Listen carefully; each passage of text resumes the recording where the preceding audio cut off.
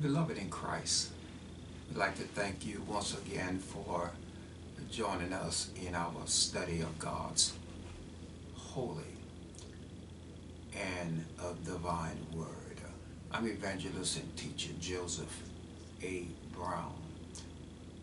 Beloved in Christ, one of the greatest possessions that you and I have as believers is the mind of Christ. It is such a great and valuable thing that many of us do not recognize what possession that we have. To have the mind of Christ is simply to say that we have a mind that is geared toward God, a mind that is possessed by God. And beloved, there is nothing greater in this earth than that. There are many people who consider themselves to be Christians, but they do not have the mind of Christ. Uh, they have a mind of their own creation. Uh, they have created a God or a God-like figure in their own mind of what they think God really is like.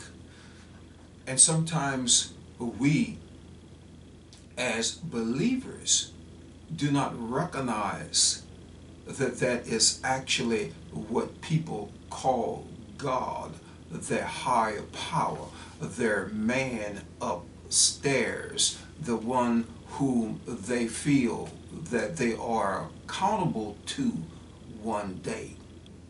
But yet they live their lives as though they're dictating to God. I remember years ago, a neighbor and I was talking, and I thought I knew this person quite well. I had done some work at his home.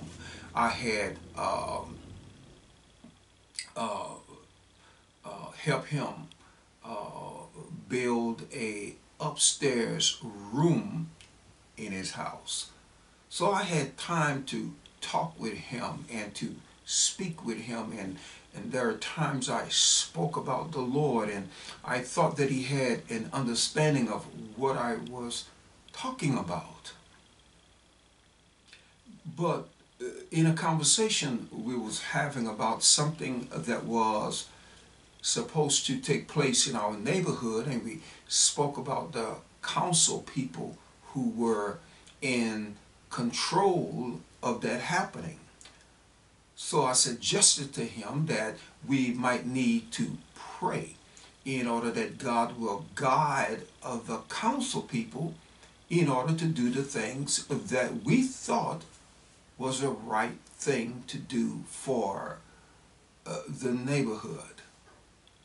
And I remember him looking at me kind of strange for a moment. And then he said to me, we don't have to do nothing like that. He said that, uh, uh, uh, you know, uh, um, hearing or listening or following the Bible is not really for today. Uh, we have the ability to do things on our own now. Basically, he was saying that the Bible in the olden days was like a training wheel for us. And now uh, we can do it on our own and uh, we don't need to pray. We just need to simply go to the council meeting and tell them what we expect of them because we put them in place. And beloved, it stunned me because I did not think that he thought that way. I thought he looked at God the same way that I did. I thought he looked at Christ the same way I did because he was going to church each and every Sunday. So I thought for sure he had a better understanding of who God is. But beloved in Christ, that is not true. There are many today who believe in a higher power, but it's one that is made in their own image, one whom they can dictate to rather than listen to. They consider the Bible to be archaic, obsolete, of no value for today. It's full of fairy tales of things like a whale swallowing and then spitting out a man, a devil that really doesn't exist, a man who claims that he actually walked on water, a forbidden fruit that was eaten in a place called Eden by a man and woman that was simply an example to us, but never really existed. Scientifically, they say, it doesn't make any sense. Logically, it doesn't make any sense to the mind of, of the natural man. It is not truly real to them. They don't take it by faith like you and I do. But we think of that they do. And beloved in Christ, when you and I are possessed by the Spirit of God and our mind have been renewed, where now we have the mind of Christ. That is the greatest value, the greatest possession that any man, woman, or child will ever possess in this life. And not everybody can have this. So, beloved, this is what separates those who are in the world, those who believe that they have something but have nothing, and those who have the mind of Christ. I want us to turn our Bibles to 1 Corinthians, the second chapter, beginning at the ninth verse, so we can better understand uh, what we really have as a born again uh, believer. In the ninth verse, it reads, But as it is written, Eye had not seen nor ear heard, neither have entered into the heart of man the things which God had prepared for them that love him. This is why, beloved, to the world, all this talk about fate, the cross, and all that is foolishness to them.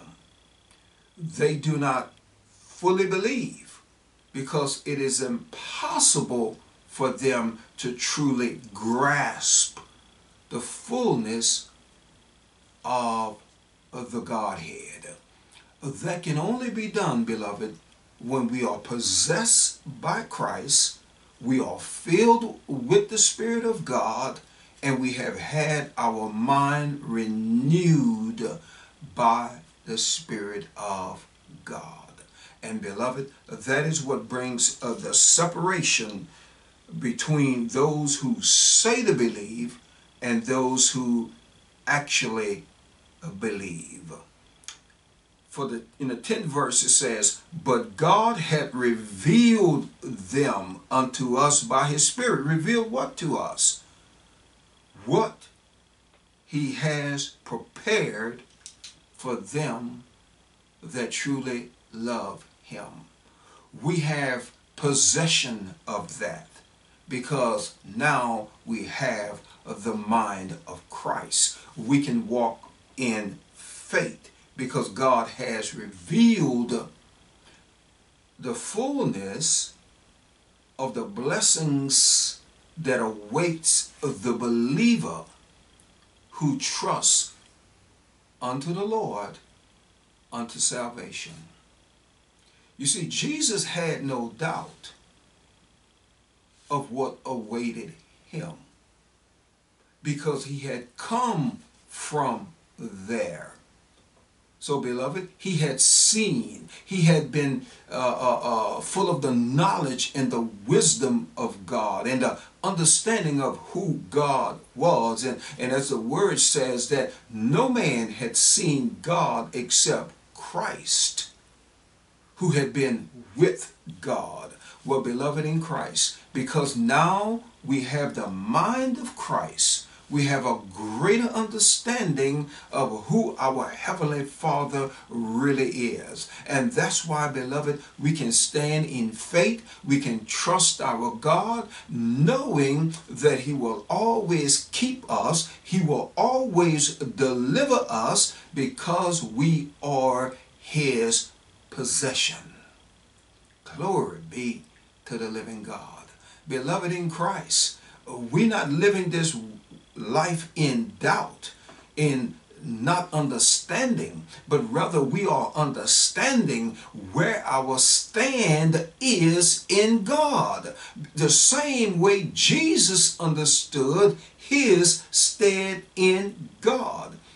Until the disciples had been possessed with the Holy Spirit in the day of Pentecost, beloved in Christ, it was then they went with authority and with power into the entire uh, known world sharing the gospel of the Lord Jesus Christ because now they had been imbued with the power of God. And so, beloved in Christ, that same power is now in you and I. Uh, but the greatest of all possessions is the mind of Christ. And beloved, when you know what your end results will be, it gives you the authority, it gives you the strength, it gives you, beloved, the inner workings in order to know that what's in this life is not worth giving up. for the life that is to come. We can push aside this life. We can push aside in our uh, uh, uh, desire to to run after things of this world because of what now possesses us, and that is the mind of Christ. The Word of God also says in the 11th verse,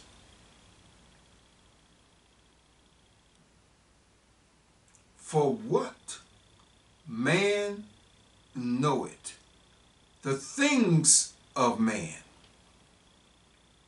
save or except the spirit of man which is in him. So, beloved, he is limited. The natural man is limited in order to understand the mind of Christ. He cannot understand it. Even so, the things of God know it no man but the Spirit of God. Only the Spirit of God can reveal to you who he really is. The natural man, beloved, our natural ability is limited. It knows of himself. We know of ourselves. But beloved, because of Christ that now liveth in us by his holy and divine spirit, we can go beyond just knowing us as a person, but we can know the mind of God, which is the greater blessing of all. And beloved, the world cannot know that. You know, just like I thought my neighbor knew that what he was saying was out of line with a true believer. He literally was saying that God need not possess us any longer. We need not even trust in him any longer. We simply just needed to do the things we needed to do and then expect God to respond to our dictation. And beloved in Christ, that is out of line with the true believer. It is God who dictates uh, to us and it is based upon his wisdom, his knowledge, and not leaning upon our own understanding, but acknowledging him as Almighty God. Because, beloved, when you look at the 10th verse again, look what it said. But God had revealed them unto us by what? By his Spirit. For the Spirit searcheth all things, yea, the deep things of God. So, beloved, the mind of Christ that is within you and I who are believers, it searches the deep things of God. And the deep things of God, beloved, simplifies everything. And beloved, we live in a very complicated world because man choose to make things complicated.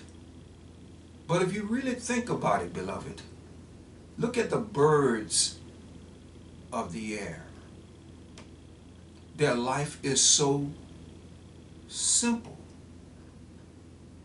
Look at any creature that is out there in the world. And you will see that they have a pattern that they live their lives by. Beloved, God has given them that pattern and has set it in them. And beloved, he has so done with you and I. But because as humankind, we desire to complicate things more than what they need to be. The 12th verse says, Now we have received not the spirit of the world, which complicates things, but the spirit which is of God, that we might know the things that are freely given to us by God. Beloved, this is the wisdom of God. That is, this is not the smartness of man. Man believe that he is smart. He believed that he is cunning. He believed that he can outwit God. Well, beloved, one day he will find out that he cannot outwit God. But the word says to us, we have received not the spirit of this world, but rather the spirit that is of God, which things also we speak, not in the words which man's wisdom teacheth, but which the Holy Ghost teacheth, comparing spiritual things with spiritual. True teaching of the Spirit, comparing spiritual things which things that are spiritual, which ultimately validates the Spirit of God and the need uh, for uh, God. But the natural man receiveth not the things of the Spirit of God, for they are foolishness unto him, neither can he know them. Beloved, the natural man cannot receive the things of God. My neighbor could not receive the things of God, though he was masquerading as a Christian, though he was going to church on a regular basis. But it was not the Spirit of God that had been teaching him, that had been sharing with him. And as the Word of God says right here in His Word, it is the Spirit uh, uh, that by the Holy Spirit that teacheth. So, beloved in Christ, we have to allow the Holy Spirit of God to truly teach us how to fear God, how to walk in His wisdom, how to have an understanding of how He desired for us to live this life today. We can't just follow anybody just because they say we ought to follow them, or they say that they are a leader uh, called by God. We have to allow the Spirit of God because of the mind of Christ that is within us, that we can uh, uh, uh understand spiritual things and things that are taught by the Spirit of the living God. Beloved, we have to trust the Spirit of God, not our own natural ability to know that God is who he say he is, but rather we trust the Spirit that teach it in the Spirit. And it will let us know what is of God and what is not of God. And beloved in Christ, you can be assured of this, that God is not complicating anything for you and I, but rather he is breaking it down by the Spirit of God that you and I can live our life in the fullness of how God desires for us uh, to uh, live it. But look what the word is, the, the word says at the end of the 14th verse. It says, Neither can he know them because they are spiritually uh, discerned. Beloved, they cannot know it and they cannot figure it out because they are designed to use logic, designed to use Uh, uh, uh, all kind of logical thinking rather than of faith.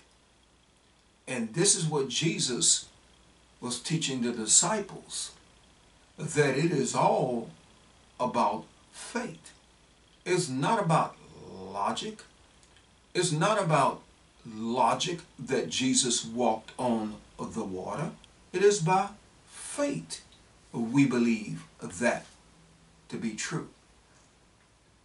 It's not about the whale and Jonah being spewed out on the beach, but rather it is about the fate, the mastery of God to perform such an act. And that was an act of mercy. That he lived in order to do what God had called him to do, and that was to preach unto the people of Nineveh. Beloved in Christ, this is the same way our God look on to us. If it was not by the Spirit of God, if it was not by the mercies of God, you and I would be in our grave even right now. But God has things for us to do. And he gives it to us by the Spirit of God. And so, uh, so when we wake in the morning, we know that God has a work for us to do that day. Just like the birds, the bees, when they wake in the morning, they go about their business. And beloved in Christ, we need to go about uh, uh, the Father's uh, business. But he that is spiritual judgeth all things, and that's us. Yet he himself is judge of no man. For who had known the mind of the Lord that he may instruct him? But we have the mind of Christ. Beloved, we have the mind of Christ. And we need to do our very best to keep that mind untainted, to keep that mind unchained by the things of, this world, and to trust Almighty God to be our answer. Because, beloved, we have the greatest of all possessions, and that is the mind of Christ. That is what separate us from the world. Not just our belief, not just our thinking and saying that God is good, but rather, beloved, because the mind of Christ now possess us. And because of that mind, we can have what God says that we can have. Amen. Beloved in Christ, I pray that the Lord open your understanding to his will, to his word, and that you have a greater understanding about who you really are in Christ. Amen. Beloved, be blessed in the Lord. And may the Father open your heart to his understanding in the name of Yeshua, Jesus the Christ.